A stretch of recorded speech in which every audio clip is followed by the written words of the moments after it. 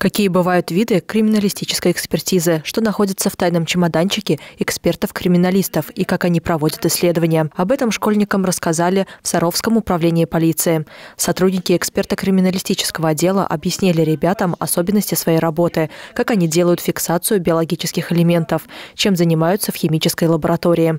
Тематическое мероприятие приурочили ко Дню российского студенчества в рамках ежегодной всероссийской акции «Студенческий десант». Возможно, это пригодится в выборе дальнейшей профессии. Потому что я уже обратила внимание, кто становится экспертом, как они становятся, где обучаются на экспертов.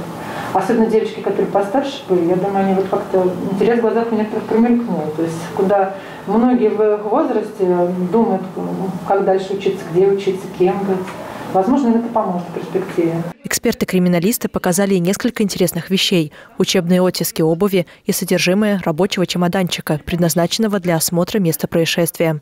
Школьники самостоятельно попробовали проявить свой отпечаток пальца специальной магнитной кисточкой. Затем ребята отправились на экскурсию по музею МВД.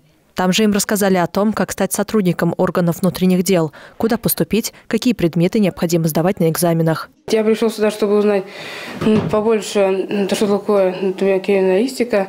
И попробовал, как узнал, как э, отпечатки пальцев узнают они.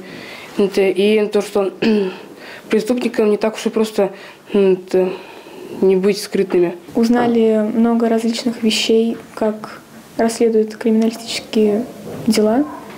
Также нас знакомили с отделом химическим. Мне понравилось, как делают отпечатки следов, как делают отпечатки пальцев. Ну и, в принципе, это занятие довольно интересное и сложное. В завершении встречи школьники смогли посмотреть изнутри автозак – специальный автомобиль для перевозки заключенных, подозреваемых и обвиняемых, а также посидеть за его рулем и включить мигалку и сирену. Светлана Юрунова, Евгений Шикарев, Сергей Рябов. Служба новостей Саров, 24.